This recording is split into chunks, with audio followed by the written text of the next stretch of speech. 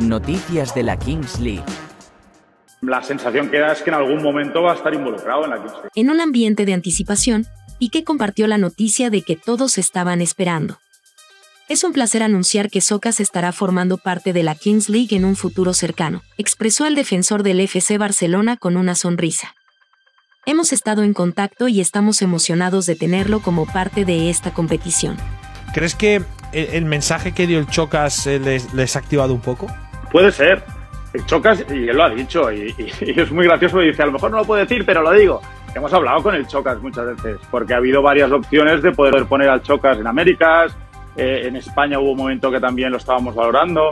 La revelación no solo ilumina el futuro de Socas en la Kings League, sino que también arroja luz sobre un intento anterior del jugador por unirse al torneo. Y que contó detalles sobre el pasado, revelando que Socas estuvo a punto de entrar en la competición en una ocasión anterior. Sin entrar en los pormenores, el defensor indicó que, por razones no especificadas, el acuerdo no se concretó en ese momento. El Chocas, mm, la sensación que da es que en algún momento va a estar involucrado en la Kings League. Pero coincides con él en que eh, echarías a dos o tres, no, ¿no? Eso no, ¿no?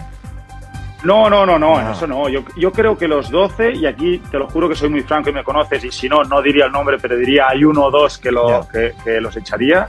La noticia ha desatado una ola de emoción en las redes sociales, con los seguidores de Socas y los entusiastas de la Kings League compartiendo su entusiasmo y expectativas. La incorporación de Socas a la Kings League no solo fortalece la posición del torneo como una plataforma líder en los deportes electrónicos, sino que también destaca la creciente integración entre el mundo del fútbol y los videojuegos. Los 12 suman a su manera.